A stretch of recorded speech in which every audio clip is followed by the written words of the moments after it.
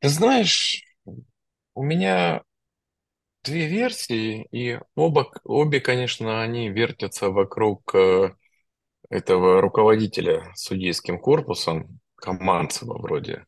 Так. Ну, то есть чело- человека совершенно из не, ну, точно не из судейской среды, мне кажется, даже не из футбольной среды, ну, который вообще попал в этот омут по случаю.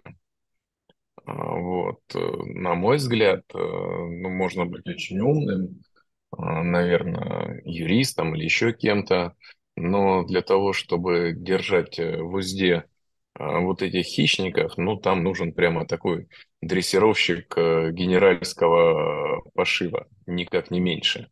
Причем э, такой генерал в отставке силовых структур который может все это бледво загнать э, под плинтус и заставить а, работать и выполнять свои э, функции честно.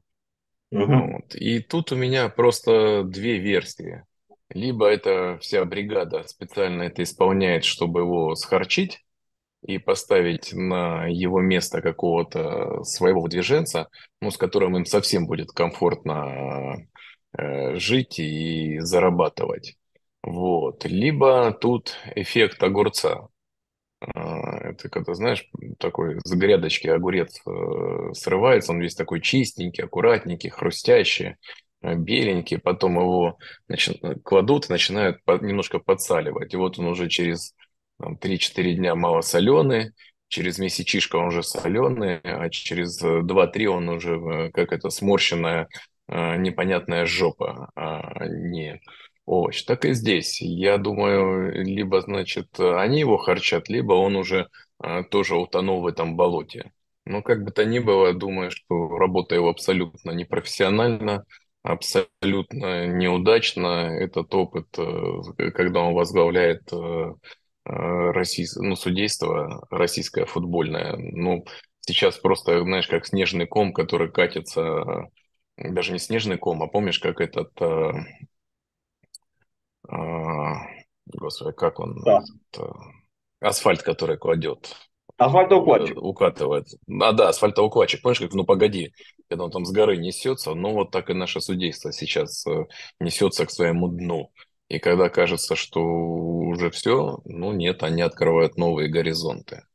Ну, просто здесь есть нюанс, как бы, да, то есть огромные деньги за этот вар а, уплочены, да, и я так понимаю, что еще а, от РПЛ требуется, чтобы еще доплатили, да, и, в общем, Сереж, ну, они же нашли, я же тебе сказал, что это фактор, который запутывает всех просто. Ну, это же, слушай, ну они как тараканы, ты им закрываешь одну дырку, они находят другую и лезут через нее. Так и здесь. Они благополучно поняли, что весь этот ва- вар можно обходить одним простым способом. Этот на поле придуряется, что не видит, второй у вара придуряется, что тоже не видит и не зовет его. Потом они друг на друга показывают, и взятки гладкие. То есть Мгм. этот его не позвал, а тот вроде как не заметил. И вот эпизод не посмотрели, и вот он уже этот эпизод заигран. Ну и все. Мгм. А еще на всякий случай подкрепились каким-нибудь э, экспертом из своего же сообщества. Ну, то есть, э, в принципе, подельника такого же, а, просто который отвечает за другую составляющую этой э, бригады. Ну и все. Вот тебе и дело сделано. Но вот есть нюанс, я, я не знаю, вы смотрели же наверняка как бы матч или фрагменты матча Крылья Совета, Нижний Новгород, Крылья Совета. В тот момент, когда рассказывал, как бы мяч в руку попал, перед этим его толкнули, Писарскому Слушай, за не дали пенальти. ну, Ну, то есть как такое с, с помощью ВАР не можно решить эти моменты? ну, видишь, значит, не можно. Ну, я тебе говорю, значит, все, Сереж, все от безнаказанности. Все от того, что нет наказания. Все от того, что рука руку моет. Кто смотрит потом за тем, что происходит? Ну, та же их бригада. Просто ты пойми, что это просто такое, знаешь, мафиозное сообщество, часть из которого работает в поле, а часть из которого работает, а часть которого работает в кабинетах. Одни исполняют работу, знаешь, как раньше в итальянской мафии в Америке, на улицах, а другая часть исполняет э, в красивых э, помещениях. Так и здесь. Эти исполняют работу, что называется, на земле, а те их прикрывают уже в другом месте. Вот и все. Ты, если бы, например, то, о чем я говорил всегда, если бы была суровая ответственность, то есть вот ты раз ошибся, два ошибся, и навсегда прощаешься, ну хотя бы с премьер-лигой. Ладно, не можете вы их изгнать совсем из э, этого, э, из этой профессии. Изгоните их хотя бы на премьер-лигу, чтобы этого не было, чтобы люди не сходили с ума. Ну, пускай они издеваются над э, первой лигой или как там, ФНЛ, а вот Понял, пока там тоже не будет точка кипения, да. А, вот, э, и, ну, а так они, ну что, ну пропустил он матч два, дурака свалял, одну команду прибил, люди потратили деньги на дорогу, на все, работали, старались, а они их прибили, вышел этот мудак, прибил команду и все. Другая команда не по делу нажила три очка. Этот потом два-три матча э, пропустил, а, оперился заново, стряхнул шкуркой и пошел дальше свою наглючую работу делать. Андрей Владимирович, я правильно Вот в понимаю, что чем вы, вся вы проблема. предлагаете, вы предлагаете вот за такие резонансные ошибки, когда, ну, то есть э, происходят такие вещи, просто сказать, все, ты заканчиваешь профессиональную карьеру, ты с футболом завершил. Я считаю, что вообще надо вот сейчас командам, которые пострадали от этих судей, может быть, принять какое-то радикальное решение. Например, взять и отказаться э, проводить матчи следующего тура. Мгм. До отстранения како- кого-либо, ну, без разницы кого, вот кто больше всего всем надоел, кому-то Безбородов, кому-то Кукуян, кому-то Левников, кому-то еще кто-то. И сказать, вот пока одного из них навсегда не уберете, мы дальше, э, мы приостанавливаем свое выступление в чемпионате. Мгм. Вот. Это может быть решение пяти-шести команд, не обязательно же всех. Вот. И тогда, когда, например, вот так одного пассажира команды, именно команды, там несколько их там, не надо, чтобы все. Понятно, что те, в чью пользу судят, вряд ли согласятся с этим решением, да? Но если или пять или шесть команд, например, в следующем туре говорят, мы не будем, мы не будем а, мы не явимся на игры, записывайте там чего хотите, поражение или еще что-то. Но пока там вот какой-то определенный персонаж навсегда не покинет э, судейство премьер-лиги, мы не будем продолжать чемпионат. Понимаешь? И тогда у них перед глазами будет хоть какая-то страшилка, что на случай вот этого беспредела, во-первых, команды не беззубые мальчики для битья, над которыми можно издеваться, а реально структуры, влияющие на процесс. Вот. Потом я считаю, что я уже об этом говорил, почему я все время говорю о том, что должен быть какой-то руководитель а, с э, с прошлым из правоохранительных органов. Ну, ведь э, не помню, по-моему, еще древние римляне, но боюсь ошибиться, кто это сказал, что любое преступление оставляет финансовый след. Так и здесь. Но что такого сложного? Ну, их там 10-12 человек.